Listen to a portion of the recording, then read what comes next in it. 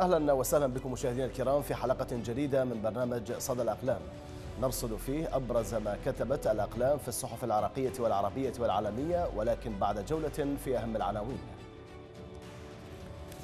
رئيس البرلمان في صحيفة الحياة رئيس البرلمان يعد مشروع قانون طوارئ لتأجيل انتخابات.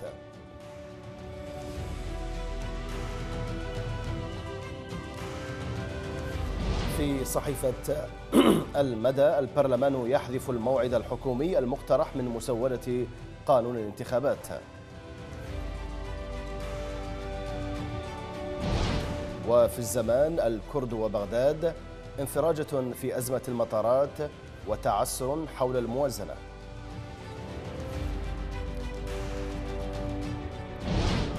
وفي الهيانت استمرار معاناة أبناء الموصل جراء الانتهاكات التي ترتكبها الميليشيات الطائفية.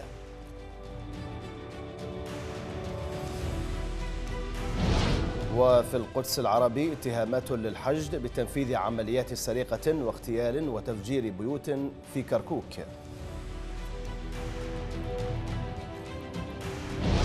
وجاء في صحيفة العربي الجديد تركيا تدفع بمزيد من التعزيزات العسكرية. عملية عفرين بمشاركة فصائل سوريا. وفي الشرق الأوسط تيلرسون على العالم الانتباه لاحتمال اندلاع حرب مع كوريا الشمالية.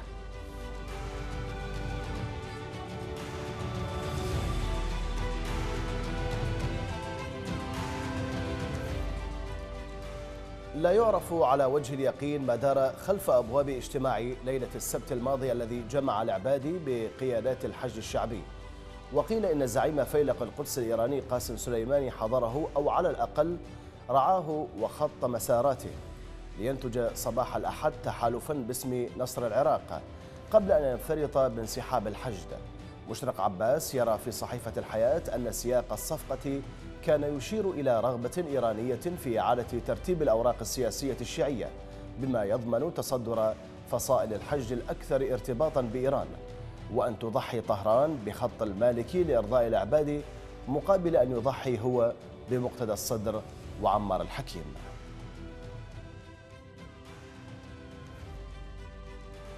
واقع الحال أن تلك الصفقة العجيبة التي جمعت أندادا لطالما اتهموا بعضهم بعضا ضمنا وعلنا خلال الشهور الماضية كانت بمثابة رغبة ملحة لأن يختبر الجنرال سليماني مساحة نفوذ بلاده في قرار القوى الشيعية فقرأ الخريطة الشيعية وربما العراقية باعتبارها تقوم على رافعتين الأولى تمثل العبادي الذي طرح نفسه زعيما منتصرا وأعلن رغبته في استخدام هزيمة داعش عنوانا انتخابيا والثانية الحشد الشعبي التي ستترجم ثقلها العسكري على الأرض بطاقات انتخابية.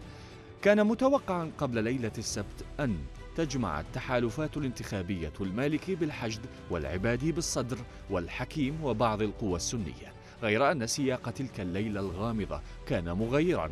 فطهران لطالما افترضت أن بإمكانها وفي كل المراحل استحضار خبرة صانع السجاد التبريزي الهادئ لنسج الخيوط أو تفريقها وما دام العباد الذي يتهمه بعض خصومه الشيعة بأنه أمريكي وعلماني متخفي وميال للعرب قد تحول رافعة انتخابية فلا بأس من استخدامه لرفع الخط الجديد من السياسيين الشيعة مقابل إبعاد تيارات بدت خلال العامين الماضيين وكأنها غير متسقة. مع خط المقاومة فتتحدث بصراحة عن تحييد العراق في الصراع الإقليمي المحتدم الكاتب يشير في ختام مقاله إلى أن الجنرال قاسم سليماني اختبر سحره في تلك الليلة الطويلة. وربما جازف في محاولة إثبات أنه ما زال يمتلك تلك الطلة الآخذة التي لا يمكن للسياسيين العراقيين مقاومتها ناهيك برفضها أو حتى التلاعب معها لكنه لا يبدو مستعدا للاعتراف بفشله على إدارة تحالفاتهم أو صراعاتهم.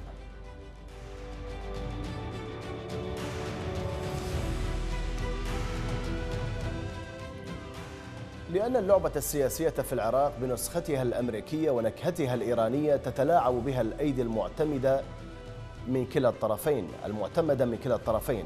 فلا تسمع من فرقعتها سوى الانتخابات والتحالفات في جو طائفي بغيض تحاصره التفجيرات.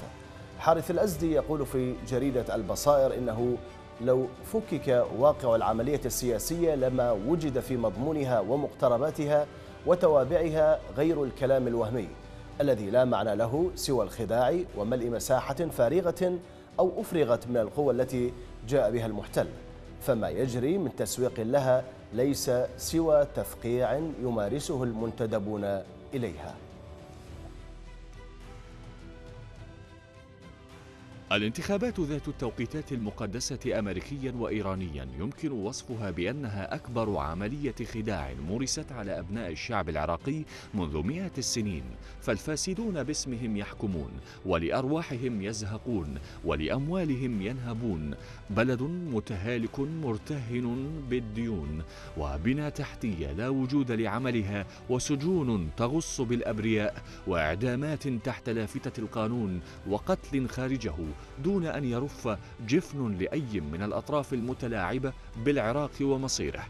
الانتخابات المزمع إجراؤها في أيار القادم والتحالفات الجارية اليوم تؤكد دخول العراق مرحلة جديدة من الاستعلاء الطائفي بتحكم الميليشيات الإيرانية الولاء علنا من دون مواربة وما يحدث من تحالفات هو في هذا الإطار لا غير فإن كان وفق شروطها وانتماءاتها فهو لحجز المنصب في المرحلة القادمة تحت رعاية المالك المتحكم. وما كان من غير طيفها وانتمائها فهو من باب التشكيلة الخادعة ببقاء العملية السياسية على ما بنيت عليه. وثالثة الأثاث التي بنيت عليها اللعبة السياسية في العراق هي التفجيرات المدروسة والمعلومة بقصد خلق العدو المتوهم وإبقاء التهديد قائما على رؤوس أبناء الشعب يحصد أرواحهم لتكون هذه الدماء دافعا في سوق أبناء العراق لصالح انتخاباتهم. الكاتب يرى أن ملخص القول في هذه الثلاثية السوداء من مخرجات العملية السياسية في العراق تفقيع أصابع اللاعبين فيها بانتخابات طائفية تبقي على الفاسدين والمتنفذين بالسوء على رأس السلطة في العراق وتؤازرها وتنفذها تحالفات طائفية القصد منها رسم معالم المرحلة القادمة بتمكين الميليشيات وهي إن حدثت فالقادم أسوأ مما كان. وهذان الأمران لن يكونا فاعلين ونافذين من دون تفجيرات تحصد تحصد أرواح ودماء أهل البلد ويسعى الفاسدون لاستثمارها.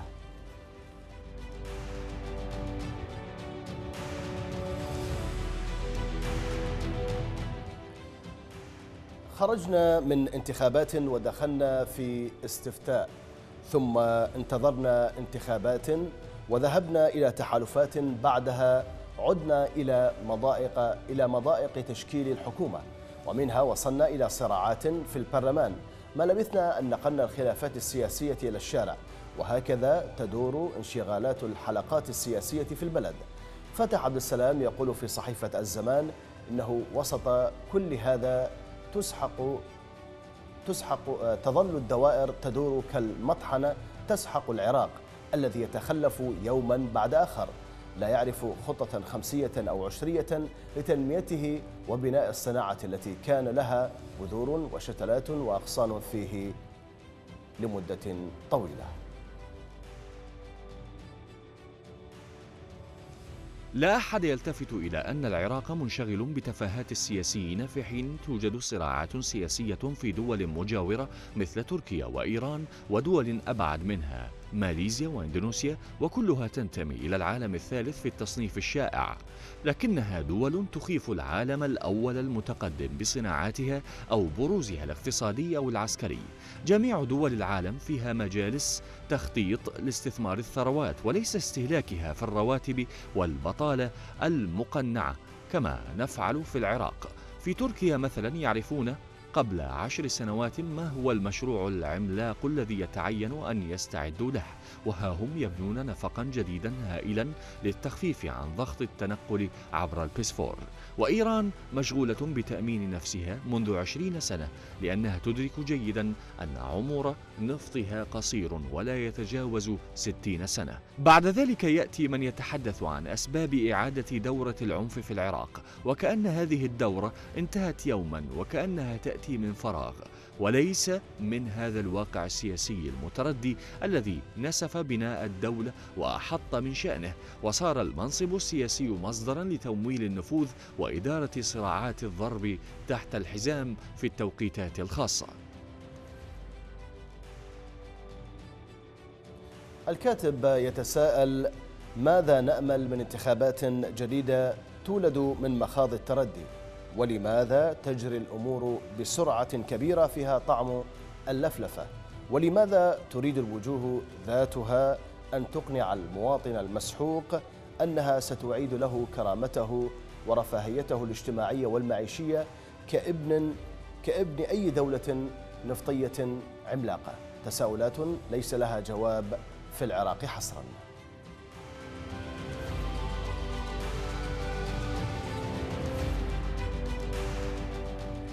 إذا كانت عوائل الجنود البريطانيين الذين قتلوا في العراق قد قررت عدم السكوت على ما تعتبره جريمة ضد أبنائها وقامت بحملة لجمع مبلغ تدفعه للمحامين فإن النظام في العراق بكل إمكانياته المادية الهائلة تلقى تقرير تشيلكوت الموثق لحرب عدوانية استندت على التضليل بالصمت الكلي. هيفاء زنجنة تقول في صحيفة القدس العربي أن العراق كأنه لم يكن البلد المعني بالغزو والاحتلال وما جلباه من خراب مستمر. كأن حياة ما يقارب المليون من الضحايا المدنيين أثرا من أثار ماض. لا يستحق التفكير أو المراجعة أو وهو الأصح ثمنا يستحق الدفع للحصول على المناصب.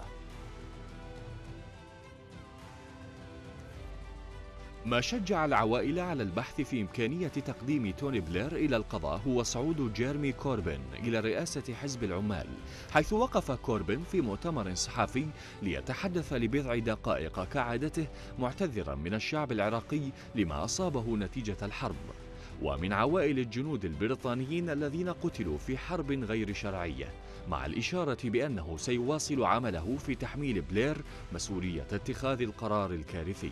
قارنوا ذلك بخطب حيدر العبادي رئيس الوزراء التي يرميها بوجوه أبناء الشعب في خطاب أسبوعي متلفز طويل كالعادة بالإضافة إلى تصريحاته ومواعظه اليومية المتلفزة أيضا في اجتماعات مع وزراء وقادة أحزاب وميليشيات هل اعتذر العبادي من الشعب عن دور حزبه في غزو واحتلال البلد؟ هل اعتذر عن دور أمين حزبه نور المالكي في غرز الطائفية البشعة والفساد واستباحة حياة كل من عارضه؟ التي جعلت منه مجرم حرب بامتياز إن إخبار عوائل الجنود البريطانيين القتلى بعدم إمكانية رفع دعوى ضد بلير لأنه محصن قانونيا من المساءلة قضية تهمنا كعراقيين لانعكاساتها على إمكانية محاسبة المسؤولين قانونيا عن غزو العراق بضمنهم الساسة العراقيون الذين فتحوا الأبواب للغزاة. الكاتبة ترى أن صناع النظام العراقي حاليا من الإدارة الأمريكية والحكومة البريطانية إلى الجمهورية الإيرانية يقفون على مسافة واحدة. بانتظار ما, ما ستتمخض عنه الشهور القليلة المقبلة من تغيير للأقنعة وهذا ما يجب رصده وتوثيقه وفضحه والتحريض على تغييره. فلكل نظام تم تصنيعه أجنبيا مدة للصلاحية تنتهي بوجوب رميه لئلا ينتقل تعفنه إلى الجميع.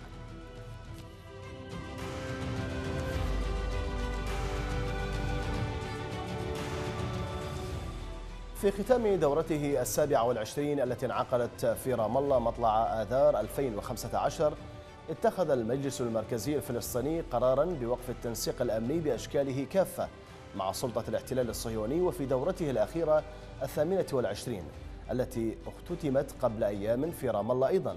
قرر المجلس تجديد قراره بوقف التنسيق الأمني بكافة أشكاله. صحيفة القدس العربي ترى أن القرار سيبقى حبرا على ورق أيضا لأن أي جهة في مؤسسات السلطة الوطنية الفلسطينية لم تضع قرار 2015 موضع التنفيذ.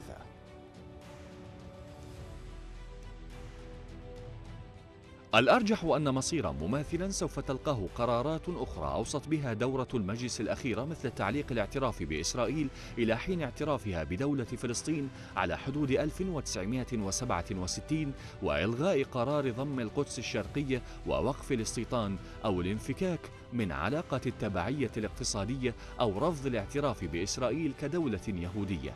ذلك لأن حال وقف التنفيذ الذي تعاني منه قرارات المجلس ناجم عن سبب جوهري هو عدم تمتع المجلس بأي صلاحية ملموسة في نقل التوصية النظرية إلى حيز التطبيق. وكذلك غياب أي آلية لمحاسبة مؤسسات السلطة وأجهزتها على تقاعسها أو تملصها أو انفرادها بالسياسات والقرارات.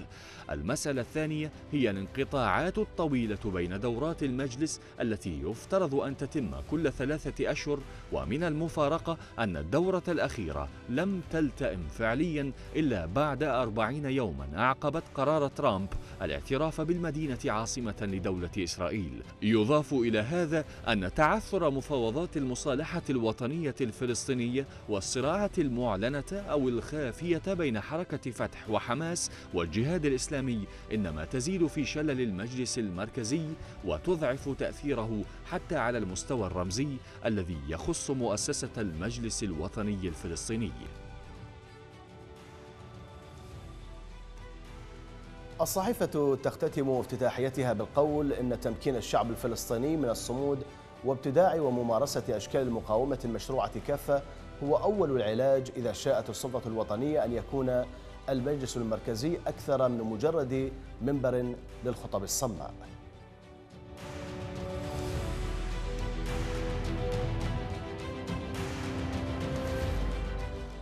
لقد كشفت المظاهرات التي اجتاحت إيران عن ضعف داخلي كبير في إيران التي أصبحت بعد احتلال العراق في 2003 ذات تأثير إقليمي غير مسبوق على الشرق الأوسط بأكمله. بشكل فاجأ النظام الحاكم في إيران وخصومه وحلفائه بل حتى الإيرانيين الليبراليين الذين دعموا ما عرفت بمظاهرات الحركة الخضراء في عام 2009 دكتور أيمن العاني يرى في موقع الهيئة نت أنه, أنه في كل الأحوال ومهما كانت المآلات فإن إيران في ظل هذه الحقيقة لن تعود كما كانت قبل الاحتجاجات. إن ما يجري في إيران اليوم يختلف في أوجه كثيرة عن ذلك الذي كان في 2009 فناهيك عن حالة الكراهية المتنامية تجاه نظام الحكم في إيران. هناك أمور مهمة لها حضور فاعل في الاحتجاجات الأخيرة منها انتشار وسائل التواصل الاجتماعي في إيران حيث أصبحت اليوم بمتناول الجميع. فهناك اليوم أكثر من 50 مليون شخص يمتلكون أجهزة الهواتف الذكية بالمقارنة مع مليون فقط كانوا يمتلكون هذه الأجهزة في العام 2009 واليوم هناك أكثر من 40 مليون شخص في إيران يستخدمون تطبيق تليجرام ويتواصلون من خلاله. ما دفع الحكومة إيقاف هذه الخدمة ضمن الإجراءات المتبعة من قبل السلطات لتطويق الاحتجاجات وقطع التواصل بين المحتجين وبالتالي إخمادها. ولا يخفى على أحد أن القمع الوحشي الذي تجيد ممارسته القوات الحكومية في إيران قد أدى إلى تضاؤل المظاهرات وتراجع وتيرتها في الأيام الأخيرة لكنها لا تزال مستمرة في عشر مدن على الأقل خاصة أثناء ساعات الليل وحتى إن تم إنهاؤها بشكل كامل هذه المرة أيضا. الكاتب يشير إلى أن ما أبرزته الأحداث تؤكد أن النظام الإيراني وإن بدأ حتى الآن متماسكا أمام الانتفاضة بفضل أساليبه القمعية في ظل الحصارين الإلكتروني والأمني المفروضين على المتظاهرين على المتظاهرين إلا أن هذه الاحتجاجات تسببت في إحراج نظام الملالي وإظهار حقيقة ضعفه أمام العالم. لا سيما العرب الخائفين من البعبع الإيراني الذي أكلت الأحداث الأخيرة أنه مجرد وهم.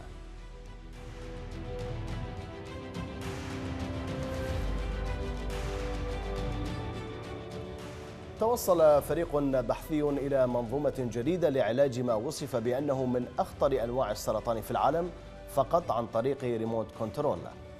وقال موقع الخليج أونلاين إن الفريق البحثي طور منظومة للعلاج عن طريق الموجات فوق الصوتية للتحكم في العمليات الجينية لجميع الخلايا المناعية لتوجيهها من أجل التعرف على الخلايا السرطانية والقضاء عليها. وأوضح الموقع أن ذلك سيعفي مرضى السرطان من أي تعاملات جراحية لإزالة الخلايا السرطانية بل يمكن القضاء عليها بمجرد ضغطة زر جهاز التحكم عن بعد ريموت كنترول. وقال بيتر يانغ يانغس كياو وانغ الأستاذ في جامعة كاليفورنيا الأمريكية تلك المنظومة ستكون ثورة في عالم علاج السرطان. لكن حذر وونغ من أن الأمر لا يزال قيد الدراسة لأنه يظل خطرا حتى الآن بسبب مخاوف من امتداد نشاط الخلايا المناعية لمهاجمة الأنسجة غير السرطانية ما قد يشكل تهديدا على حياة البشر.